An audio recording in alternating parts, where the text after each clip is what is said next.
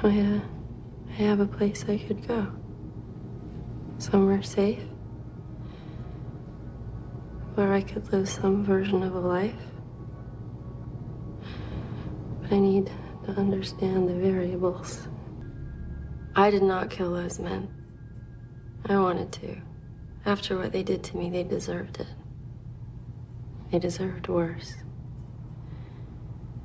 But I didn't do it. And in the video, my alter, she thanks me for getting her out of there.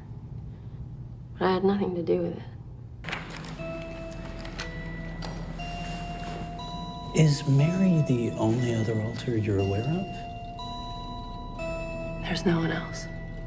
You say that as if you are absolutely sure.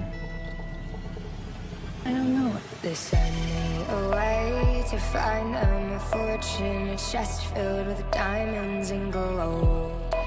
The house was awake with shadows and monsters. The hallways they echoed and groaned. I sat alone in bed till the morning. I'm crying, they're coming for me.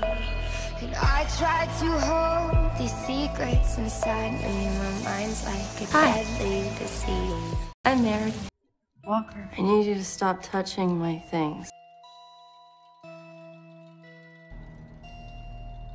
Is this real? Development of alters. I, how many of these things?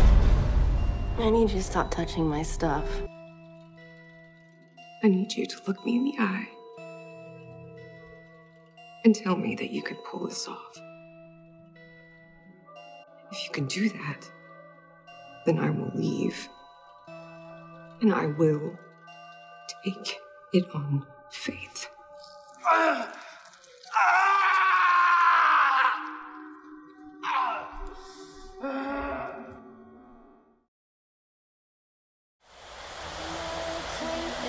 Feelings are in They beg me to write them so I'll never die when I'm dead.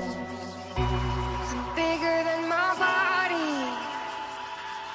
I'm colder than this home. I'm meaner than my demons.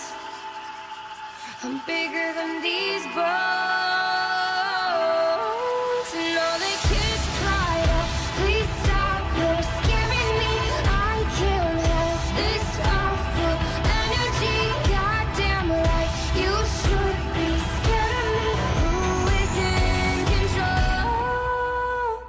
Thank you for your time. If there's a possibility your alter is capable of that level of violence, maybe you should stay.